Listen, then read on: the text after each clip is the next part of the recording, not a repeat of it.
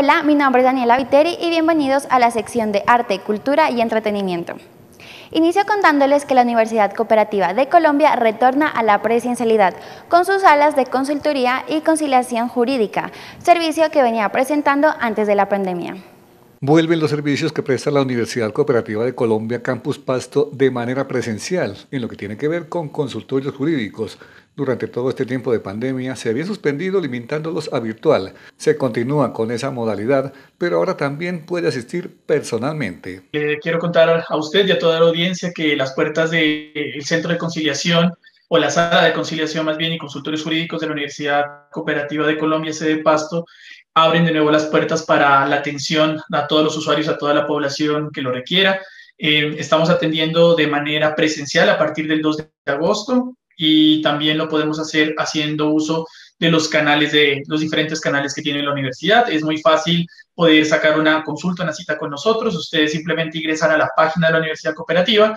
En la página encontrarán un link que los dirige a consultorios jurídicos, llenarán unos datos básicos y desde consultorios jurídicos se comunicarán directamente con los usuarios para eh, adelantar el trámite de la atención de los casos. Y la, la mayoría de las veces se puede realizar eh, una consulta telefónica o por vía WhatsApp, o si hay muchas personas que no tienen acceso a estas plataformas, entonces pueden acudir de manera presencial a nuestras instalaciones, que además cuentan con todos, más bien nos equipamos y, protegemos con todas las medidas de seguridad y bioseguridad el cuidado y la salud de, de, nuestros usuarios y, y, bueno, abierto para el público en general y para que puedan llevar a solucionar todos los, todos los inconvenientes que tengan si usted tiene alguna inquietud sobre diversos temas que tienen que ver con consultorios jurídicos, esta es la oportunidad de despejar dudas con profesionales de la Universidad Cooperativa de Colombia Campus Pasto. Abierto para el público en general y para que puedan llevar a solucionar todos los, todos los inconvenientes que tengan, que ahora en esta época de pandemia se, se han eh, aumentado un poquito más, principalmente en temas civiles, contratos, ¿no? Generalmente llegan a consultorios jurídicos muchos casos de contratos de arrendamiento que no, se pueden cumplir, el arrendador que le pide al arrendatario que desaloje eh, la casa o el apartamento y que el arrendatario no lo puede hacer o no lo quiere hacer o por el contrario, ¿no? Un arrendador que, digamos, es indolente, entre comillas, con los arrendatarios y que no quiere o que no les permite un día, dos días, tres días adicionales para desocupar el apartamento, la casa, los cánones de arrendamiento que en algunos casos son exorbitantes, contratos de anticrisis, la famosa, el famoso contrato de anticrisis que hacemos aquí en Nariño, que es bastante sui generis y que ha generado, como usted lo sabe, Jimmy, bastantes eh, bastante polémica, digamos, por muchos fraudes que se están haciendo. Y creo que todo esto se evita si las personas acuden a nuestro centro de conciliación. Ya están en funcionamiento de manera presencial los servicios de la Universidad Cooperativa de Colombia Campus Pasto. La invitación es a aprovecharlos con todas sus ventajas. Continúo contándoles que el artista barranquillero R.D. James nos presenta su nuevo trabajo musical titulado Hula, canción urbana que ha tenido una gran acogida a quienes gustan de este género.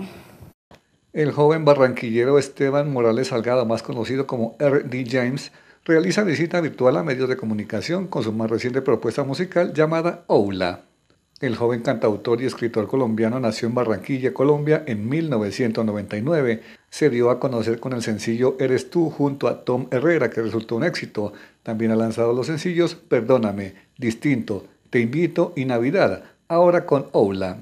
Oula es una canción que está inspirada en, los amores a primera vista, todo lo que causa el sentimiento de conocer a una persona y esa primera impresión que genera en uno y como uno pues logra enamorarse así sin siquiera conocer a esa, a esa persona, valga la redundancia. Ve qué chévere. ¿De dónde, de dónde te nace la canción? Eh, ¿Alguna experiencia personal? Pues la idea como tal viene de parte del guitarrista de la canción, JG.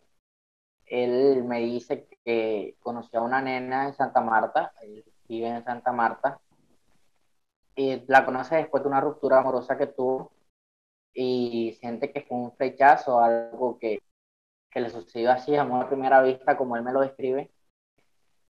Y de ahí nace la idea de la canción, él me presenta una idea, de ahí partimos y pues se hace la letra de lo que vendría a ser Oula, que antes iba a tener otro nombre, pero no, Oula nos parece un nombre llamativo. Vale, ¿cómo te consiguen en redes sociales, Ernie? Me consiguen como RD James en Facebook, Instagram, eh, Twitter, en las plataformas digitales también me encuentro como RD James.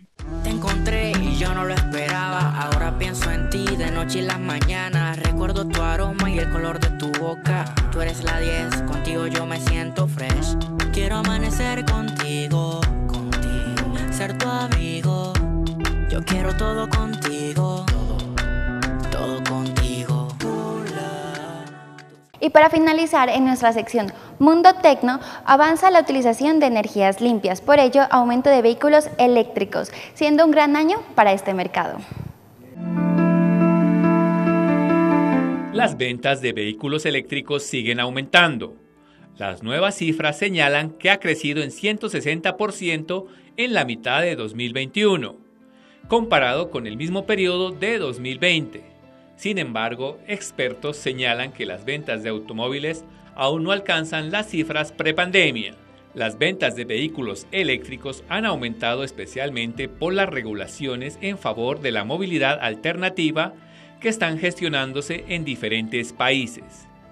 En la primera mitad de 2021 se vendieron 2.6 millones de vehículos eléctricos. China es el líder del mercado con el 12% de ventas y 1.1 millones de automóviles.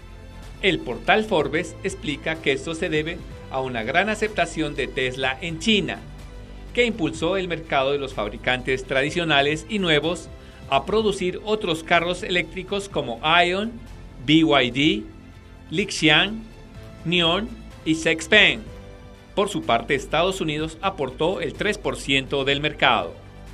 Con las marcas más importantes en transición de vehículos de combustible a eléctricos y regulaciones como la Unión Europea, en la que el 100% de la flota deberá usar energías alternativas antes del 2030, se espera que las ventas sigan aumentando.